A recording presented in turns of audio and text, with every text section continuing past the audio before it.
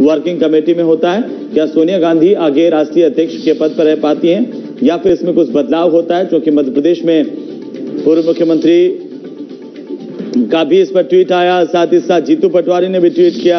अशोक गहलोत की ओर से भी प्रतिक्रिया इस पर आई। अशोक गहलोत ने कहा कि सोनिया गांधी को अध्यक्ष बने रहना चाहिए, लेकिन चूँकि कई कांग्रेस पार्टी के भीतर कई नेता, जैसे जीतू पटवारी की बात कर ले, मध्य प्रदेश से और दिग्विजय सिंह की बात कर ले तो उन्होंने कहा कि राहुल गांधी को कमान संभालनी चाहिए, कांग्रेस पार्टी का अध्यक्ष उन्हें बनाया जाना चाहिए। ज़्यादा जानकारी के साथ सहयोगी दिनेश डांगे हमारे साथ जुड़ चुके हैं। दिनेश क्या कुछ जानकारी? वर्किंग कमेटी की बैठक इस वक्त चल रही है। देखिए, आज सीडब्ल्यूसी अहम बैठक यहाँ पर जारी है। सोनिया गांधी की अध्यक्षता में ये बैठक जो है जारी है और आप देख सकते हो तस्वीरों में जो वीडियो कॉन्फ्रेंसिंग का एक फ़ोटो का स्क्रीन शॉट है।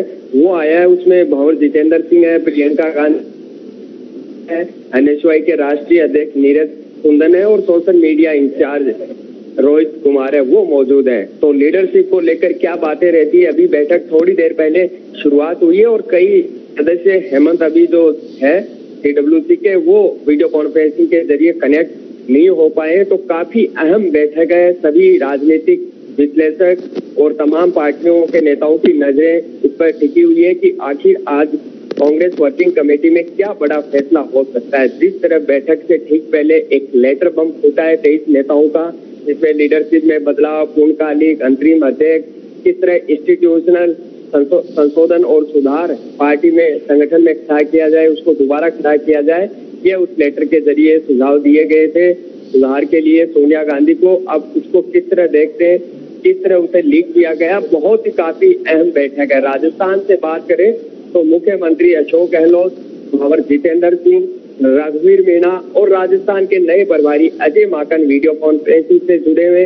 पिछली बार जब सीडब्ल्यूसी बैठक हुई थी 10 अगस्त को तो अशोक गहलोत ने सबसे पहले कहा था कि राहुल गांधी को अध्यक्ष बनाया जाना चाहिए। ये वक्त आ चुका है। उस वक्त भी हमने एक्सक्लूसिव ब्रेकिंग की थी।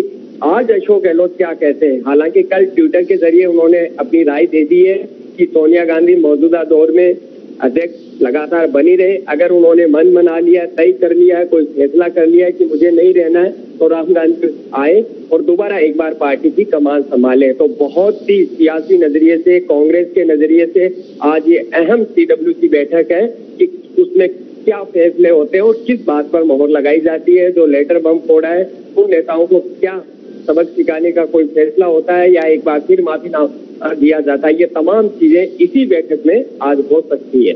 जी, चलिए, बहुत बहुत शुक्रिया दिनेश, तमाम जानकारी के लिए।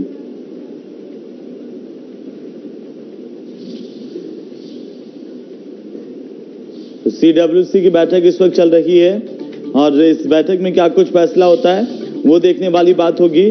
सबकी निगाहें खासतौर पर कांग्रेस पार्टी